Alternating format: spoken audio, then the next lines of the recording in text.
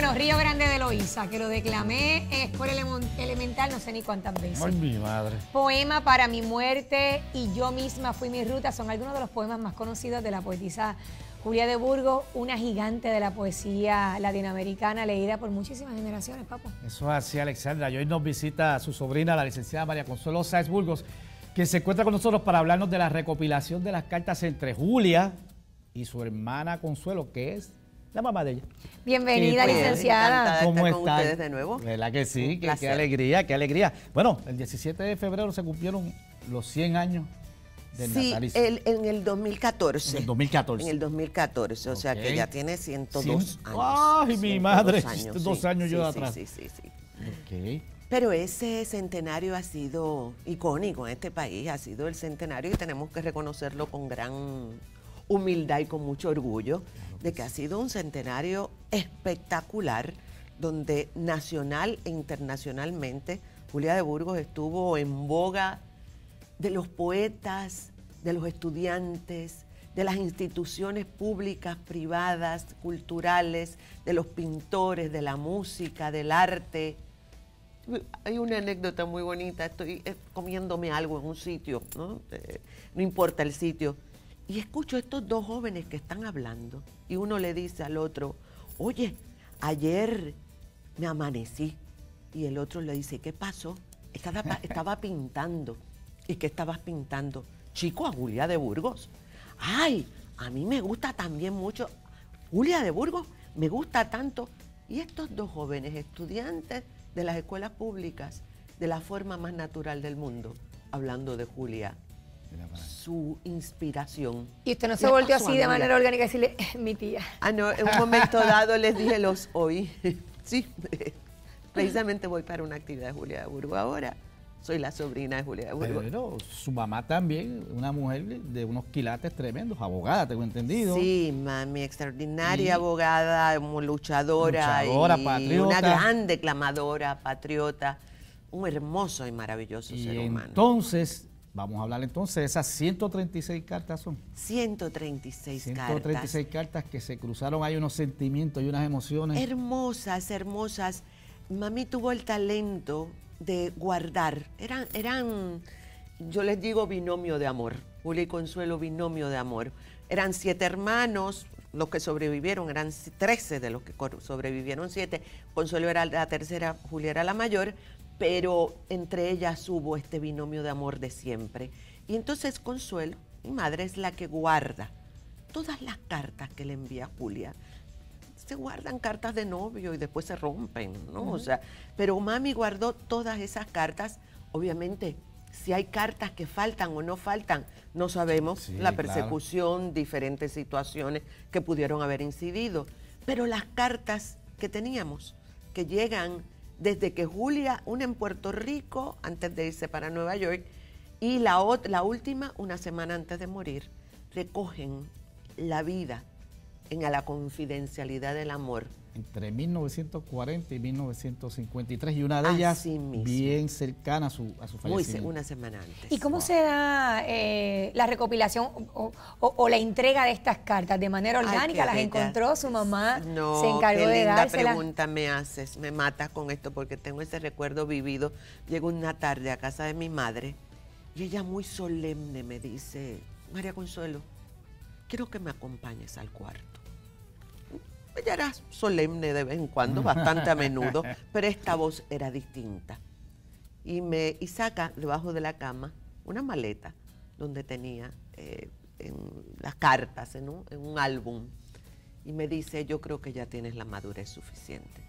Te estoy entregando con esto mi vida. Te estoy entregando a Julita. Y ahí me entrega las cartas. Uf, todavía lo recuerdo y me, me emociona. Mm. Y comentábamos antes de, de empezar a grabar sobre una experiencia que tuviste cuando la exhumación del cadáver de Julia del cementerio de Carolina a- al- Al mausoleo. Al, al mausoleo. Sí. Eh, sí, cuéntala, porque me eso parece bien. fue también impactante por demás. Este- esto fue en el 1990. Se, cambia, se van a cambiar los restos de Julia del c- cementerio municipal al mausoleo que se erigió en, en el municipio de Carolina. Cuando empiezan a acabar, que éramos un puñado de personas, empieza a salir agua, agua, borbotones. Todos nos quedamos estupefactos, decíamos el río grande de Loíza se lo tragó y nos lo está devolviendo. Pero cuando se disipan las aguas, empiezan a quedar, a, a- aflorar en la superficie pedazos del cuerpo, eh, pedazos de madera, una del ataúd y un mechón de pelo, mechones de pelo eh, y una peinilla. Me entrega el alcalde y Oscar, un empleado del municipio muy querido, eh, el alcalde Aponte, el anterior, el viejo, y, y entonces me entregan pedazos de madera, me entregan, me entregan eso, el, el mechón de pelo. La única vez que yo toqué a Julia a través de ese mechón de pelo, la decisión era difícil. ¿Qué hago? ¿Con el mechón me lo llevo o no? Lo devuelvo. Julia de Burgos intacta. Me llevo las, los pedazos de madera del ataúd, la peinilla. Y mami me dice que esa peinilla se le echó a alguien que la quería mucho porque a ella le gustaba verse bien. Pero lo interesante es, la, la impresión no hay palabras para definirla. Pero tiempo después, ahora en el centenario, en el 2014, se están presentando unos visuales, José Alicea, el gran serigrafista puertorriqueño, está presentando unos, unos visuales de ese acontecimiento de la exhumación del cadáver de Julia. Y hay una foto donde yo estoy pasándole la mano por la cabeza Que no recordaba al ese cadáver de. Julia y yo no me acordaba y todavía no me acuerdo. La Wow. impresión fue de tal magnitud que todavía yo no me acuerdo. Ocurrió, es obvio, ese era yo, ese era el cadáver de Julia. Y ese mechón de pelo. Y ese mechón de Ah, pelo. Eso tiene un significado. Oh, sí, sí, sí, volvió a su origen, pero bueno, la- las maderitas y, el, y- y sí, las, sí, sí. eh, la peinilla me la traje. Y entre esas cartas hay alguna en particular que te llamó mucho más la atención. Pero eh, es una maravilla las cartas porque te hablan de todo, de la vida cotidiana, de la, del parto de los poemas, de, de sus amores, de sus desamores, de sus ansias de estudios, de su situación económica paupérrima toda la vida. Eh, son unas cartas muy elocuentes y las descripciones de espacios un y de lugares. ahí. Pues tengo Ay, este sí. fragmentito, precisamente que es el que le da sentido al amor entre Consuelo y Julia y para que lo oigan desde su propia voz. Oh Consuelito, tú eres lo único que me sostiene en la vida, créelo. Fuera de mi gran amor, que por motivos convencionales es tan tumultuoso, y sufro tanto por él, eres el único afecto activo que tiene mi corazón. Me conmueve hondamente cada vez que recibo una carta tuya. Cuando recibo, cuando recibo una, cierro los ojos y ya espero recibir la otra. Oh hermanita querida, te siento como si fueras parte de mí misma. Eres tan buena y sé que me quieres y además tu comprensión de tantas cosas es la más alta antorcha, tal vez la única que me mantiene mi fe en la vida y en el futuro. Una cosa sí sé, y es que terminaremos nuestras vidas juntas. Tengo desesperación de verte y abrazarte. Tenemos tantas cosas que contarnos, ¿verdad? Wow. Qué bien. Qué. Qué hermosa. No una palabra vacía, sí. todo tiene una todo, razón todo. ser ahí. Eh, Tremendo, La tremendo. mayor parte de los poemas son, de, las cartas son poemas. eh, Eso, en eso es prosa. prácticamente. sí. Entonces, ¿qué vamos a, a- a esperar de estas cartas? ¿Dónde las podemos conseguir? ¿De Pues esa recopilación? eh, se- la publicó Folium, eh, la editorial Folium, obviamente es- es un proyecto de la familia, Ajá. Que conste, y esto lo queremos aclarar, siempre he querido aclararlo, si ustedes supieran que nosotros lo que nos estamos ganando por este libro es una cantidad, la familia ex- exigua, porque nosotros queríamos que fuera un buen libro y aquí el dinero no importa. Así que, pues se consigue en Folium, se titula Cartas a Consuelo y les aseguro mm, que les va a fascinar.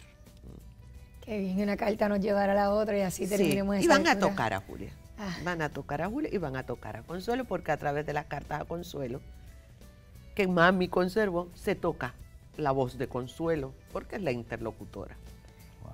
Maravilla. Hermoso. Tremendo. Licenciada, gracias por haber estado con nosotros. Siempre grato estar Es con un ustedes. regalo para Puerto Rico, sigan. definitivamente. Cada vez que descubra algo, Ay, quería regalarle, espérate, se han hecho varios discos eh, en el centenario de Julia.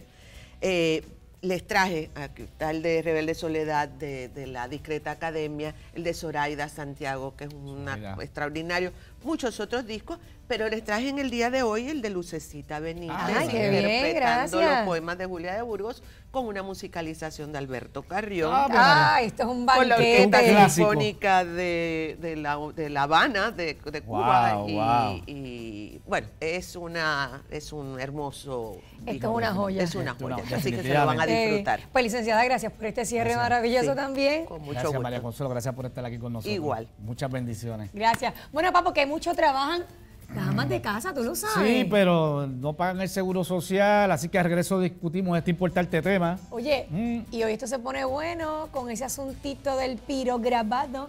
¿Qué es el piro grabado? Te lo voy a, no te lo puedo decir ahora, pero ya mismito. Una pausa.